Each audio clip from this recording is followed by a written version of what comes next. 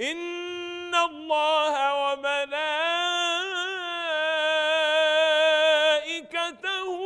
يصلون على النبي. يا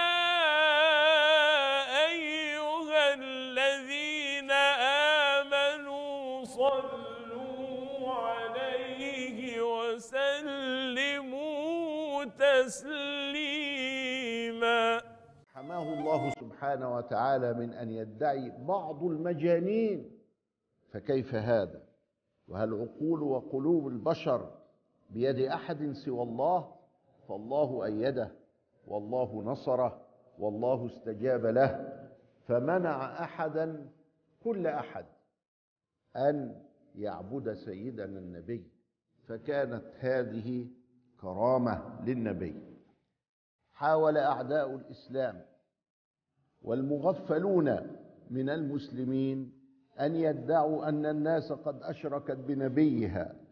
حاشاه فإنه منصور وإنه مؤيد ولم يعبده أحد. فالحمد لله الذي له المنة من قبل ومن بعد.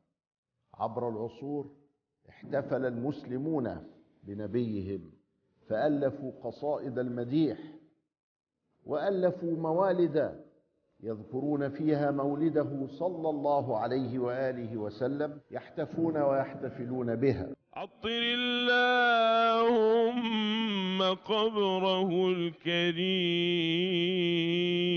بعرف شذي من صلاة وتسليم